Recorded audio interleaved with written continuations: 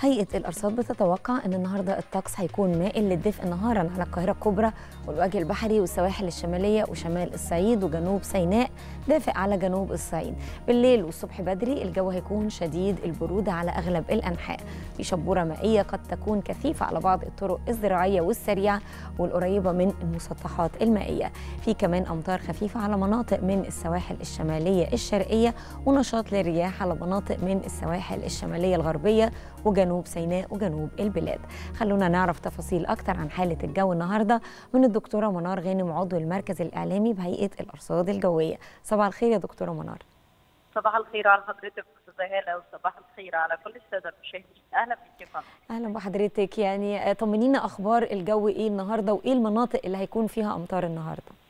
إحنا طبعا اليوم هيكون في مزيد من التحسن في الأحوال الجوية في معظم محافظات الجمهوريه ارتفاعات في قيم درجات الحرارة. لتكون درجات الحرارة اليوم أعلى من المعدلات الطبيعية بمعدل من درجتين ثلاث درجات لأن اليوم هيأثر علينا امتداد مرتفع جوي في طبقات الجو العليا. هيعمل على زيادة فترات سطوع اشعه الشمس بشكل كبير ده خلال فترات النهار.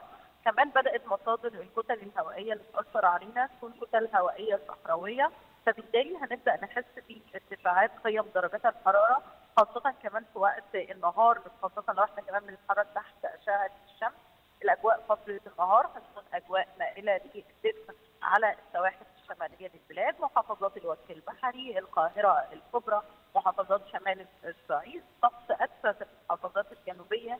دافي بشكل كبير في جنوب سيناء وجنوب الصعيد. ده بيكون فترة النهار خاصة بنأكد مع وجود أشعة الشمس.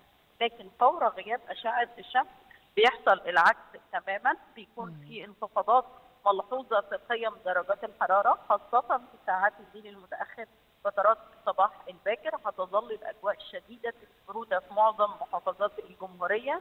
بتوصل أحيانا لحد الصقيع على المزروعات الموجودة في وسط سيناء أو محافظة الوادي الجديد أو محافظات شمال الصعيد. نتيجة انخفاض قيم درجات الحرارة الصغرى فتره الليل الأماكن دي بأقل من خمس درجات. عندنا كمان المدن الجديده والأماكن المفتوحة نلاقيها إن هي ابرد من المناطق الداخلية. يعني إحنا في صغرى فتره الليل متوقع إن هي تكون ما بين 8 و9 درجات. مم. نتيجة إن ليها طبيعة جغرافية مختلفة. كمان جفاف الكتل الهوائية خلال فترات الليل لأن معظم الكتل الهوائية كتل هوائيه صحراويه ده بيؤدي لمزيد بروده أكثر كمان.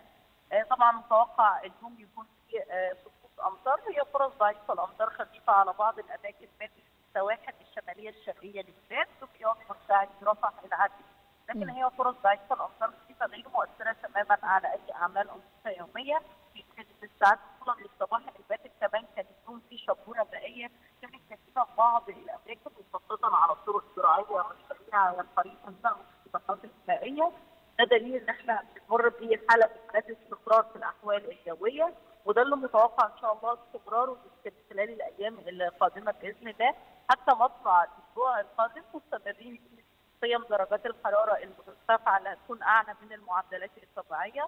الشبورة المائيه ظاهره جويه هتأثر معانا خلال الأيام المقبلة. بنأكد بس على كل السادة المواطنين عدم الابتداع باشعه الشمس فترات النهار والدفء اللي هنحس بيه بشكل تدريجي كل يوم.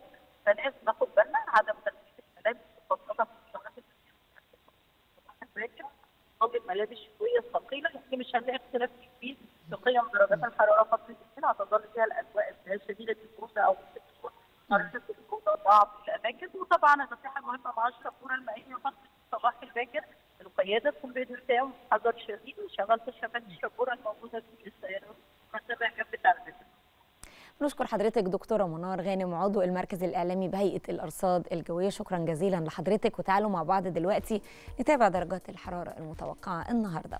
في القاهرة درجة الحرارة العظمى 20 والصغرى 12 وفي العاصمة الإدارية 20 10 الإسكندرية 19 12 والعلمين الجديدة 18 11 مطروح 19 10 ودمياط 20 10 بورسعيد 21 11 والإسماعيلية 21 9 السويس 21 10 والعريش 22 9 كاترين 13 1 تحت الصفر وطابا 20 10 حلايب 22 12 شلاتين 24 14 شرم الشيخ 22 13 والغردقة 21 12 في الفيوم العظمى 20 والصغرى 8 وفي بني سويف 20 7 الوادي الجديد 22 5 وأسيوط 21 6 سوهاج 22 7 وقنا 23 6 الأقصر 23 6 وأسوان 22 9 كده خلصت نشرتنا الجوية المفصلة. عودة مرة أخرى لمحمد وجمانة ومتابعة فقرات صباح الخير يا مصر.